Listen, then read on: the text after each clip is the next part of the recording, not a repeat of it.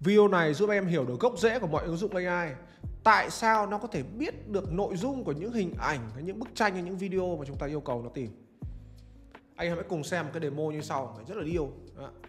Google sử dụng ứng dụng Gemini để đọc một quyển sách ờ, dày cộp 402 trang Và đưa vào đó một cái hình ảnh rất là nguệch ngoạc Không có bất kỳ một mô tả gì cho cái hình ảnh đấy cả. Sau đó là yêu cầu. Này Gemini, chú tìm cho anh trong cái quyển sách kia ấy chỗ nào có nội dung nó giống giống với cái bức ảnh mà anh đang đưa cho chú Gemini trả lời rằng, ở cái đoạn mà Neil Armstrong bước đi trên mặt trăng anh ạ. Wow, thật là xịn đúng không anh em? Bí mật ở đằng sau đấy chính là vector database. Có thể nói đây là công nghệ xu hướng chạy song song với AI hiện tại luôn. Tại video này video này anh em mình sẽ được biết tất cả mọi thứ về loại công nghệ đó. Như là tại sao Gemini có thể thực hiện cái demo bên trên? Vector database nó là cái gì? Nó hoạt động như thế nào? Thì cái công nghệ này được sử dụng trong những ứng dụng ra sao? Hiện nay có bao nhiêu loại vector database?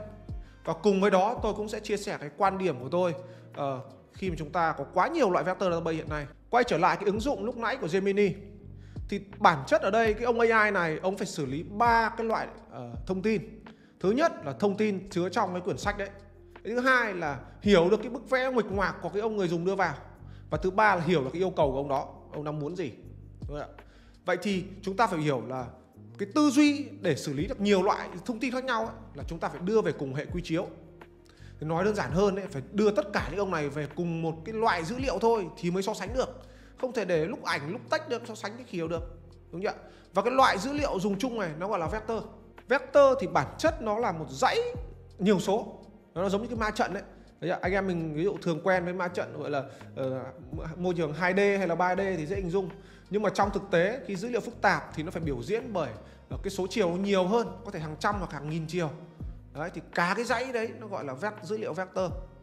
Và vậy thì làm thế nào mẹ đang từ hình ảnh hay là từ một quyển sách đấy tôi chuyển được thành vector?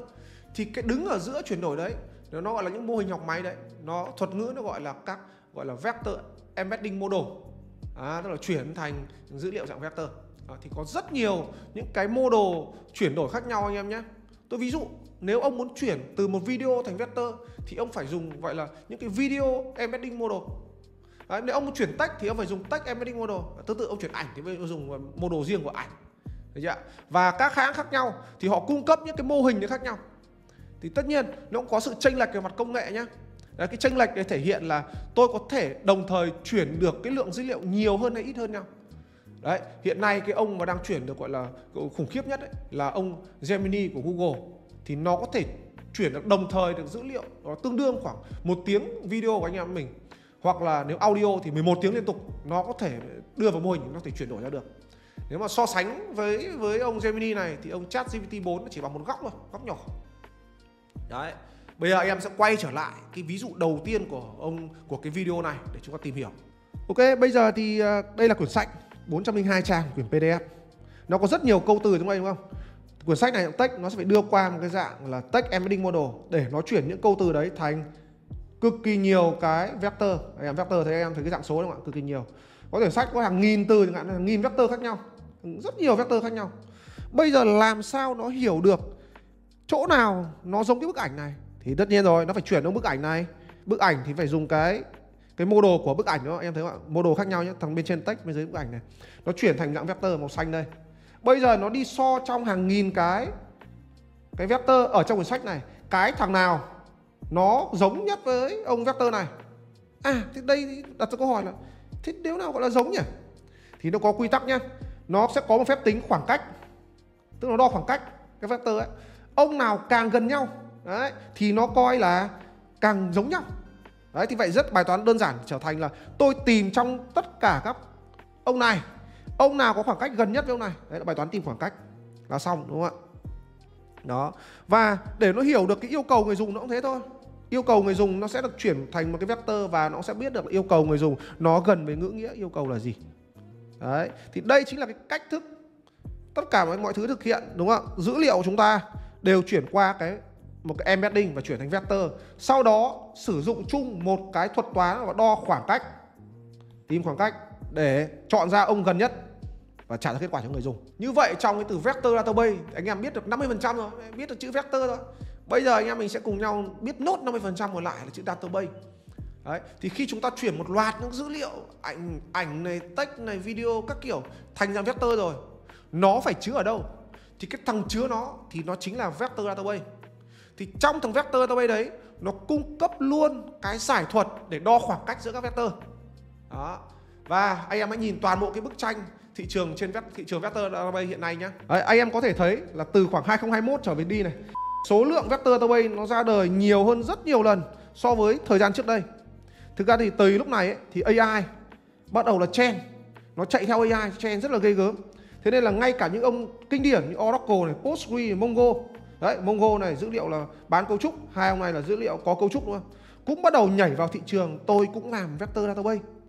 Thì PG Vector này chính là một cái extension của ông Postgres. yeah. Ông Oracle thì thông báo rằng từ phiên bản 23C của tôi năm 2023 bắt đầu hỗ trợ được Vector Database. Ông MongoDB bảo là em có ông Mongo Atlas cũng hỗ trợ được anh ạ. Ok. Và ngay cả năm 2024 này mới đầu năm cái cũng bắt đầu thông báo là sắp có tôi có một em mới là Athena DB Đấy, làm vector database thì ngoài ra cũng có rất nhiều những cái gọi là tên tuổi mới mới nổi. Đấy, những, những cái startup mới nổi. Nhưng mà cái ông này đẻ ra phát là gọi là sứ mệnh của em. Đẻ ra chỉ làm vector thôi không giống mấy bố này đâu. Mấy bố này mẹ đẻ ra để làm rất nhiều thứ khác nhau. Đấy để các trường phái khác nhau anh em nhé anh em cần nhớ rằng cái ông vector database này nó có những cái đặc điểm khác biệt với các cơ sở dữ liệu truyền thống của mình nhé đấy tôi ví dụ cho anh em ờ, hai cái đặc điểm anh em phải lưu trong đầu thôi. Đầu tiên ấy nó là cái kiểu dữ liệu nó lưu trữ. Ờ, như là cái ông kia MySQL hay là Postgres thế chẳng hạn là nó lưu trữ dữ liệu có cấu trúc. Tức là bây giờ nếu mình muốn lưu một bộ phim thì mình sẽ cần để tìm kiếm được thì, thì sau này mình sẽ phải thêm những cái trường mô tả nó. Ví dụ đạo diễn này thêm một cái trường về ờ, tên phim này thêm trường về mô tả hay năm sản xuất gì đấy. Chúng ta sẽ phải thêm vào các trường đó. Còn với vector database thì để lưu trữ bộ phim hình ảnh, nó không phải thêm các trường mô tả đấy. Nó cứ đẩy vào thôi. Và trong quá trình nó đẩy dữ liệu vào ấy, thì dữ liệu sẽ chuyển thành vector. Vector nó bản chất nó mô tả cái nội dung hết bên trong rồi. Đó, nó khác biệt này. Khác biệt thứ hai là khác biệt khi lấy dữ liệu ra. Với những cái ông RBMS đi, cơ sở quan hệ, thì chúng ta phải lấy bằng cái việc so sánh bằng hoặc so sánh chứa nó ví dụ, tôi tìm một bộ phim tên là Mai, thì so sánh về cái tên nó bằng Mai hoặc là tên Lai, đúng không? Phải dùng toán tử Lai phần trăm của chữ Mai. Nhưng cách cơ sở hiểu cũ, nó không thể nào giải quyết được bài toán tìm bộ phim giống hoặc bộ phim tương đồng với Mai. Bạn chịu ngay. Anh em lúc ấy chỉ có cách là tìm theo search theo thể loại. Thế không ăn thua. Còn vector database nó tạo ra để chuyên giải quyết những bài toán xử lý dạng tương đồng như vậy đó anh em hãy nhớ lại cái ví dụ của Gemini ấy tìm nội dung sách tương đồng với hình ảnh. Đấy là đặc điểm khác biệt nhau. Và bây giờ tôi sẽ ờ, cùng anh em nhìn lại cái góc nhìn tổng thể. Từ lúc chúng ta đưa dữ liệu vào trong vector database đến lúc chúng ta query dữ liệu ra thì nó như thế nào nhé bên tay phải của anh em này đấy là một cái vector database loại gì cũng như thế thôi không quan trọng tên như nhau hết. Đấy. khi dữ liệu trong vào trong vector database đấy, đây là coi như đống dữ liệu này. Và dữ liệu lúc thêm vào thì như sau. Cái dữ liệu bên ngoài của anh em raw data này có thể là đủ thể loại không có cấu trúc. Dữ liệu sách này video ảnh này âm thanh này. Nó sẽ đưa qua embedding model tương ứng. Đấy, có text embedding này video. Đấy, tương ứng với cái loại dữ liệu này. Chuyển qua mô hình tương ứng. Chuyển qua thành gì? Nó thành dữ liệu dạng vector đúng không vector nó là một dãy các số. Anh em mình nhớ lại sẽ thấy ngay đúng không? Tuy nhiên chỗ này có một thông tin mới anh em này. Giả sử anh em mình thêm khoảng 1 tỷ vector vào đi hoặc một chục tỷ đi anh em phải biết ngay em luôn luôn phải nhớ trong đầu nhé khi dữ liệu lớn vào thì nó phải có cái gì đó, giải thuật gì để tối ưu Đấy. tôi đã có rất rất nhiều video về tối ưu trên kênh của tôi anh em có thể xem thêm để anh em hiểu cái tư duy tối ưu nhé và cái việc kinh điển là chúng ta thêm thì dễ, nhưng muốn lấy được nó sẽ phải có index Đấy. thì trong vector database này nó cũng tồn tại cái thứ gọi là index index này chính là cách để sau này anh em mình tìm được khoảng cách giữa các giữa các vector để tìm khoảng cách nó nhanh nhất Đấy, dựa vào index này. Đấy thì chúng ta tạo ra index. Nó là index ở đây. Dạ. Bây giờ đã có dữ liệu rồi. Ông người dùng thực hiện một câu lệnh tìm kiếm trên ứng dụng. Tôi ví dụ tôi tìm kiếm những phim nào tương tự với cái phim hoa phở gì đấy piano gì đấy. Tôi nhập nhập tên đấy, tìm nhập đúng cái ngôn ngữ tự nhiên của chúng ta. Ngôn ngữ của mình tự nhiên. Đúng chưa bây giờ chúng ta có đoạn text tìm kiếm ở đây. Tuy nhiên ông vector này là bảo em chỉ làm việc với dữ liệu vector anh ạ. Em deck chơi với, em không chơi với thằng tech. Thế là cái ông tech này này, ông ấy muốn chơi được vector, ông cũng phải đi qua một cái embedding model để chuyển cái yêu cầu ông ấy thành dạng vector. Và bây giờ mọi thứ trở thành, tôi có một vector yêu cầu, ông hãy tìm trong đống database của ông cái nào có khoảng cách gần nhất với vector của tôi. Đấy, thì lúc này nó tìm qua index. Và theo nó tìm ra một cái kết quả và kết quả này sẽ trả cho ông người dùng. Đấy đấy là toàn bộ những cái luồng mà dữ liệu khi thêm và đưa vào, và lúc mà trả ra cho cho ông user là như thế. Đến đây thì anh em cũng đã hiểu là vector database nó hoạt động như nào rồi, nó là cái gì rồi. Thế vậy thì anh em cùng tìm hiểu xem là cái công nghệ này nó đang dùng cho những cái ứng dụng gì. Một trong những cái ứng dụng gọi là kinh điển nhất anh em thường gặp đó là gì ở những trang thương mại điện tử ấy. Tôi ví dụ Amazon đi. Anh em vào em tìm kiếm một cái sản phẩm. Đấy, nó sẽ tìm ra ngay. Nhưng mà khi kéo xuống thì bên dưới nó sẽ thấy thứ là các sản phẩm tương tự những gì ông tìm. Đó sẽ bị liệt kê ra một loạt các sản phẩm khác. Thì chính ở lúc này em thấy quen không ạ? Cái ông vector database ấy nó dùng ở trong cái phần công nghệ tìm kiếm những cái gì tương tự đó. Vậy thì những ông nào định làm những cái sản phẩm gợi ý ra quyết định như thế anh em có thể nghĩ đến vector database nhá. Nhưng mà cái đấy nó vẫn chưa ăn thua đâu. Cái ứng dụng này ấy, nó chưa đáng tiền bởi cái bởi cái phần sau này hiện nay rất nhiều nhà đầu tư đổ nhiều đô la bởi vì vector database nó có thể tăng cường hơn nữa cho ông mô hình ngôn ngữ lớn. Tôi ví dụ như là chat gpt chắc bây giờ ông nào cũng biết, đúng không? Nhưng mà nó có à, cái rất là dở chỗ này này. Là ông chat gpt của mình ấy, nó chỉ dữ liệu đến một thời điểm quá khứ thôi.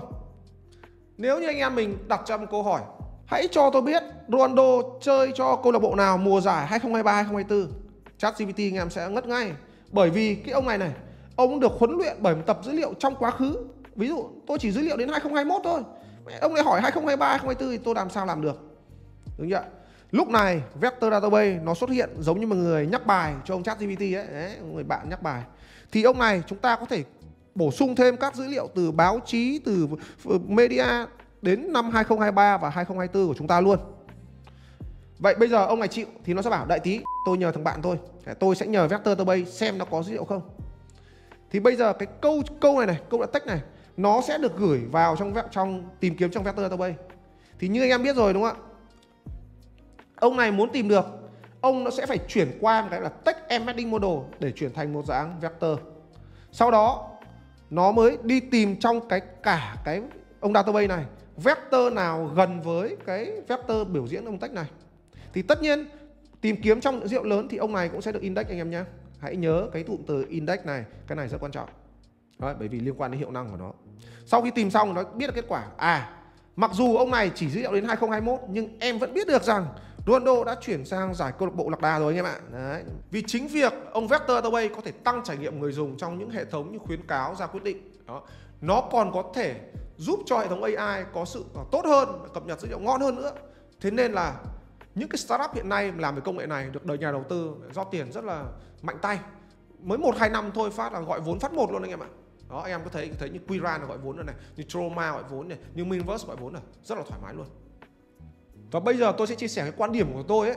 Khi mà có quá nhiều loại vector database như thế này, thì với ờ, góc nhìn của mình, khi làm việc với những cái dự án ấy, thì tôi nghĩ là sau này nó sẽ ăn nhau ở cái chỗ hiệu năng anh em ạ. Đúng không? Khi mà bây giờ dễ dàng đưa những dữ liệu phi cấu trúc vào trong database rồi thì chúng ta sẽ thấy là bên ngoài chúng ta 80% những dữ liệu là phi cấu trúc mà. À là không, không, không có dữ liệu cấu trúc gì cả đúng không? Đó. Vậy thì chúng ta dần dần dữ liệu nó sẽ lớn lên. Số vector nó không phải lưu mấy nghìn mấy trăm nghìn hàng tỷ tỷ các vector nó sẽ đẩy vào. Làm thế nào lấy ra được cho nhanh? Ồ lúc này chúng ta có sự khác biệt rất lớn giữa các sự lựa chọn các loại database. Và uh, trong đó hiệu năng này nó quyết định bởi phần nhiều ở cái index em ạ index ở trong thằng vector database này nó không đơn giản giống như trong thằng RDBMS đâu. Trong RDBMS thông thường ấy, anh em mình kinh điển là dùng dạng B-tree thôi. Nhưng với ông vector này thì nó có rất nhiều loại index. Tất cả những cái gì em mình đang nhìn thấy màn hình ở đây, nó là các thuật ngữ, các giải thuật index khác nhau. Em thấy không? Tất cả chỗ này là các thuật giải thuật index khác nhau. Cực kỳ nhiều loại. Nó chính là cái việc khi chúng ta tìm cái khoảng cách khoảng cách từ một vector đến một một loạt vector trong database mình. Đấy, chính là cái index này. Nó dựa trên index này nó tìm. Có rất nhiều thứ. Nếu anh em nào muốn đọc tất cả mọi thứ thì cũng được thôi, đọc theo từ khóa này. Nhưng mà tôi vắn tắt cho anh em cho nó cho nó dễ, đúng không thì nào anh em cứ nhìn thấy những cái index dạng flat này này. Đấy, flat này. Thì là nó chậm. Tại sao nó chậm? Bởi vì cái giải thuật của flat này ấy là gì ạ? Giả sử tôi có một tỷ cái vector ở trong database. Bây giờ tôi muốn so sánh với một vector bên ngoài thì nó phải lấy lần lượt từng một cái một tỷ này. Tất cả một tỷ này nó so khoảng cách. So tất cả mọi thứ. Nó là full scan quét tất cả. Anh em có thể xem rất nhiều những cái video ở trên kênh của tôi để tôi nói về những cái thuật thuật cứ gặp full scan này trên rượu lớn là cực kỳ chậm. Và những cái giải pháp để xử lý của nó nhé xem video khác em sẽ thấy được ờ, nó, nó cụ thể hơn. Đó. Anh em thấy không? Ông Postgre cũng nhảy vào cái sân chơi của vector database tuy nhiên hiện nay cái giải thuật của Postgre Index ấy, nó nghèo nàn hơn những ông này rất nhiều và nó không có những cái giải thuật xịn đây đây là những cái giải thuật xuất hiện đây những cái giải thuật này là, là ngon nhé đây giải thuật ngon này nó sẽ nhanh hơn đó Đấy. Và trong cái mắt uh, gọi là đánh giá của tôi thì ông Quidran và ông Minvert này nó là hai ngôi sao. Nó hai ngôi sao đang nổi lên. Và hai ông này đã từng thông báo rằng họ có thể giải quyết được bài toán tìm kiếm rất cực kỳ nhanh. Tức là khi anh em mình vừa gõ lệnh, vừa gõ tìm kiếm kết quả nó chạy ra luôn. Gõ đầu chạy ra đấy. Nó có cả demo cho việc đấy. Anh em có thể xem cái demo của họ. Đó anh em có thể thấy rằng à anh em mình vừa gõ này, đang gõ phát kết quả chạy vèo vèo bên dưới và trải nghiệm có phê không đó chính vì những cái trải nghiệm nó phê như vậy thế nên là uh, ngay cả cuối năm 2023 thì Elon Musk cũng nói rằng nền tảng mạng xã hội X trước là Twitter ấy, họ cũng sử dụng Quidran làm cái vector database chính cho một cái ứng dụng AI nó tên gọi là C Similar Post của ông nền tảng số X. À, với cá nhân tôi tôi rất tin tưởng vào sự lựa chọn công nghệ của anh Trịnh Văn Mớt này. Ok anh em, như vậy đến đây chúng ta đã biết là tất cả những cái thứ xung quanh cái vector database. Nếu anh em quan tâm những cái chủ đề tương tự, anh em có thể xem thêm những cái video khác ở trong kênh của tôi. Xin chào anh em, hẹn gặp anh em ở các video tiếp theo nhé.